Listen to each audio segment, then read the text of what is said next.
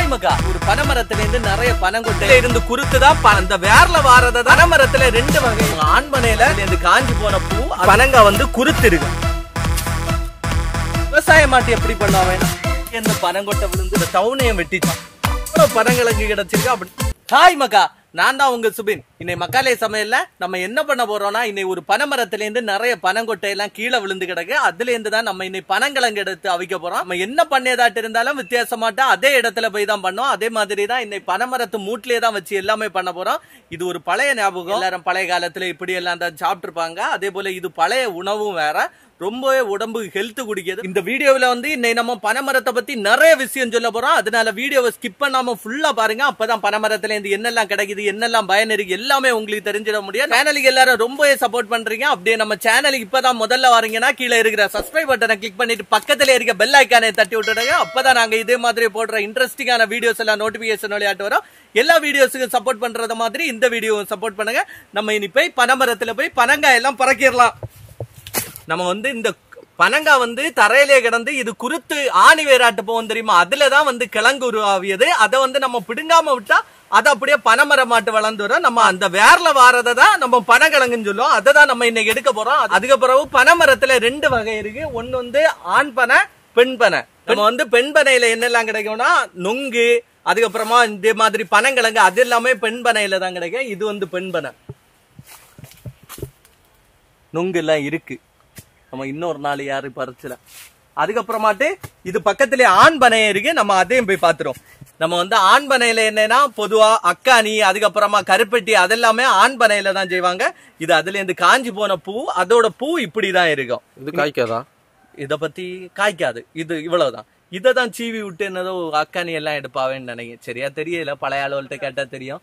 நம்ம ஆண் பனையை காட்டி கொடுத்துருங்க.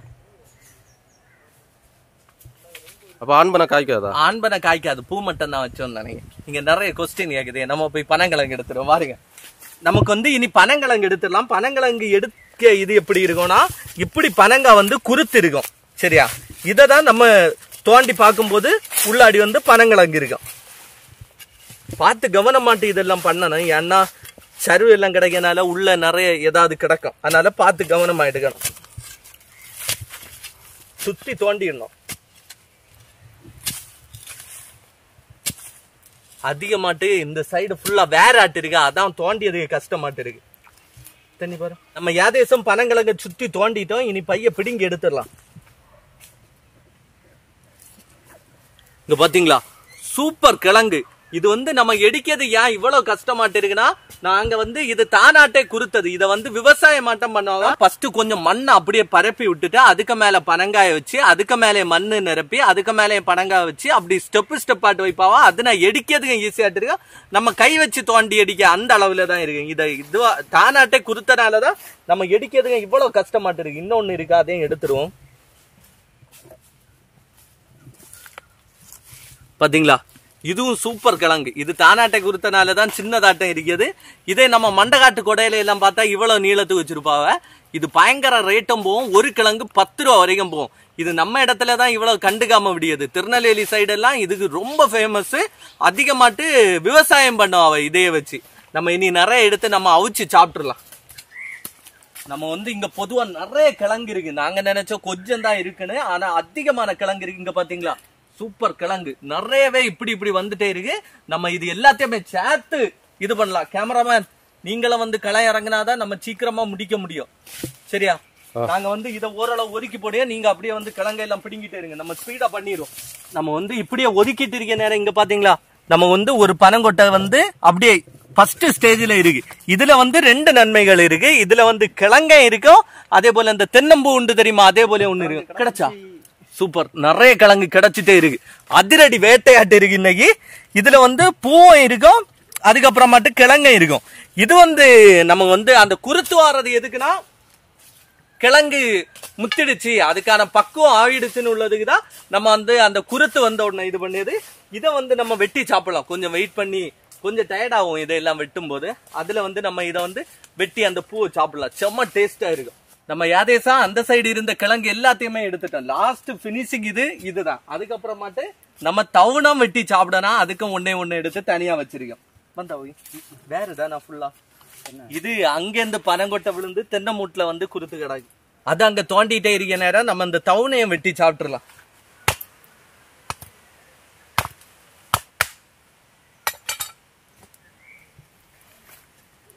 இங்க பாத்தீங்களா? இதான் தவணு இந்த டவுனில் இருந்த கிழங்கு இதுதான். நம்ம இதுல வந்து ஃபர்ஸ்ட் வந்து இந்த பூவை எடுத்து நம்ம சாப்பிட்டுறலாம். நம்ம எடுத்து இந்த தொலியை லைட்டா எடுத்துட்டு சாப்பிடுவோம். ரொம்பவே டேஸ்டாக இருக்கு. நம்ம கிழங்கோல எல்லாம் எடுப்போம். நம்ம இதுல இருந்து இவ்வளவு பனங்கிழங்கு எடுத்திருக்கோம் நம்ம இது விவசாயமாட்டு பண்ணல. ஆனாலும் இவ்வளவு பனங்கிழங்கு கிடைச்சிருக்கு? அப்படின்னா நீங்களே யோசித்து பாருங்க விவசாயம் மட்டும் பண்ணா எவ்வளவு பனங்கிழங்கு கிடைக்கும்னு. இது சும்மா வந்து நம்ம பறக்குனது. பரவாயில்ல இல்ல இவ்வளவுத்தையும் நம்ம இனி அவிச்சு சாப்பிட்டுலாம் நம்ம கிழங்குல வந்து எல்லா பக்கமும் அந்த மண் இருந்த பக்கத்தை எல்லாம் வெட்டி நீட்டா இது பண்ணி எடுத்திருக்கோம். ரெண்டு மூணு வாட்டி கழுவியும் எடுத்துட்டோம். நம்ம அங்க தீயும் பத்த வச்சுட்டா நம்ம இனி கிழங்கு அவிக்கிறது எல்லாமே ரெடி பண்ணிடலாம். நம்ம கழுவி வச்சிருக்க கிழங்க முதல்ல பானையில போட்டு போட்டுருவோம். அதுக்கப்புறமாட்டு அதுக்கு தேவையான அளவு தண்ணி ஊற்றிடும் நம்ம தேவையான அளவு தண்ணியை ஊத்திட்டோம். நம்ம இதை அப்படியே கொண்டு போய் நம்ம இனி அடுப்புல வச்சிடலாம். தீயும் நல்லா பத்தி பிடிச்சிட்டு இருக்கு. நம்ம இனி இதை அப்படியே மூடி வச்சு அதிகமா தீ போடலாம். நம்ம எது அவிச்சாலுமே மூடி வச்சு தீ போட்டோம்னா அது சீக்கிரமா வேக வந்தியும். நம்ம இப்படி வெளியே வைக்கனால எதுவும் உள்ளே விழாம இருக்கும். புகையும் போயறையும் உள்ள அடிக்காம இருக்கும். நமக்கு கிழங்கு வந்து நல்லாவே கொதிச்சுட்டு இருக்கு. நம்ம அதுக்கு தேவையான அளவு உப்பு போட்டுடலாம். நம்ம உப்பு போட்டுடலாம். நம்ம தேவையான அளவு உப்பும் போட்டுட்டோம். இந்த கிழங்கு சாதா மரிச்சடி கிழங்கு வேவியதோட நல்லா வேகணும். அதனால மறுபடியும் நம்ம மூடி வச்சு நல்லா தீ போட்டு விட்டுடலாம் நம்ம கிழங்கு நல்லாவே வெந்திருக்கும். நம்ம இதை இறக்கி வடிச்சிடலாம் இனி.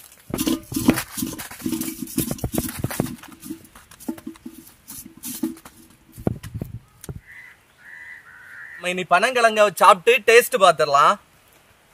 இந்த குருத்து சாப்பிடக்கூடாது இதை எடுத்துடலாம்.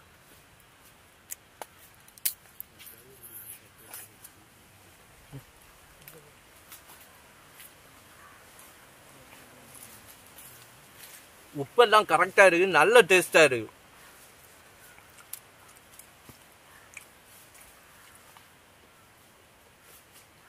நல்லா வெந்திருக்கும் செய்து எப்படியும் ஒரு ஒரு மணிக்கூர் நம்ம தீ போட்டிருப்போம். அந்த அளவு தீ போட்டாதான் நல்லாவே வெந்து கிடைக்குது. அந்த கசப்பு எதுவுமே இல்லாம பனங்கிழங்கு சாப்பிட்டதே நல்ல டேஸ்டா இருக்கு. இது வந்து நம்ம சும்மா குருத்து கிடந்ததுலே இவ்வளவு டேஸ்டா இருக்கு. இது விவசாயம் மாட்டு பண்ணும்போது நல்ல பெரிய கிழங்காட்டு கிடைக்கவும் செய்யும். நல்ல டேஸ்ட்டும் கிடைக்கும். இந்த அனுபவம் வந்து ரொம்ப பழைய ஞாபகங்கள் எல்லாம் கொண்டு வர்றது மாதிரி வேற லெவல் இதில் இருக்கு.